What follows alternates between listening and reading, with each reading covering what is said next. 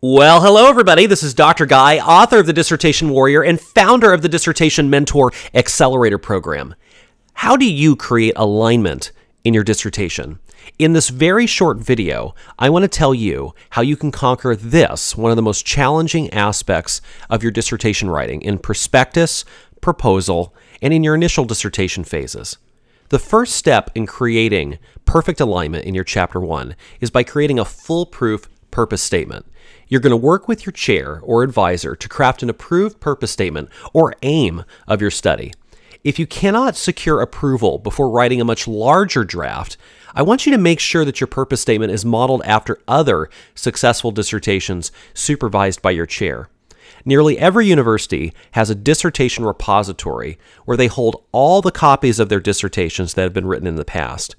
Most people don't realize that through ProQuest, dissertations, and theses, and other such repositories, you can go to advanced search.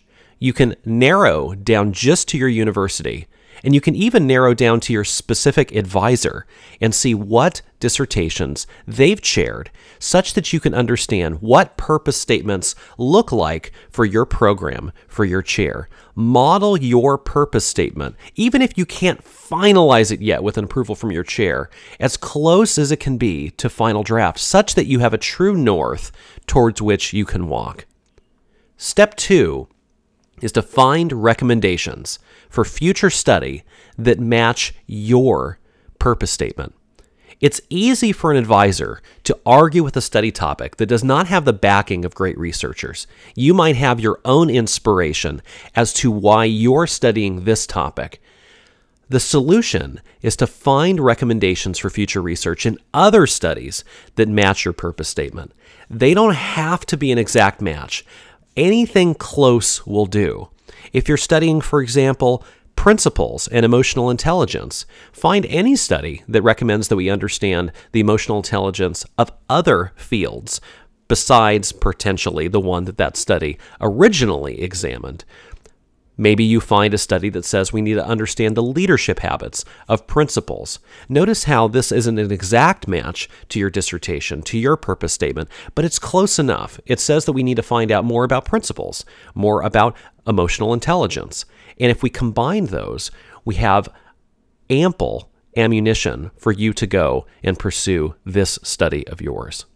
Step three write out your basic aligned logic in four sentences. Number one, what is a crisis that almost everyone knows about in the world? This is something, a crisis that even grandma who watches the 11 o'clock news knows about. Number two, within that larger crisis, what do practitioners know that the average person does not? Number three, what about this problem are researchers wanting us to find out?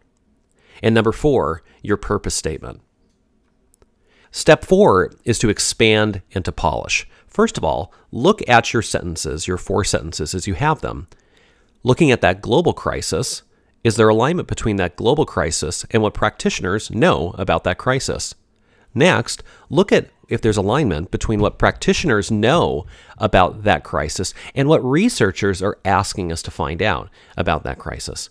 And finally, is there alignment between what researchers are asking us to find out and your purpose statement, your proposed study that we're going to be pursuing in your larger dissertation?